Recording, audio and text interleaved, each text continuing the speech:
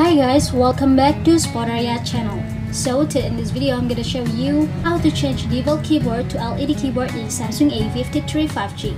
But before we continue this video, as always, I hope you like, comment and subscribe to support the channel and don't forget to hit the notifications bell. So without any further ado, let's get started. Well guys, firstly you just have to make sure that you already have LED keyboard apps right here. As you can see, it's mine and after that just go ahead to the settings. In the settings page you just have to scroll it down until you find here general management option. And after that tap on the keyboard list and the default. Now here you will see the LED keyboard option. Just tap on the toggle next to it. Tap on OK. Now I'm gonna show you my keyboard first and yeah, as you can see I use the Gboard so if you want to change it to the LED keyboard you just have to tap on this icon in the right corner at the bottom. And now just choose the LED keyboard option.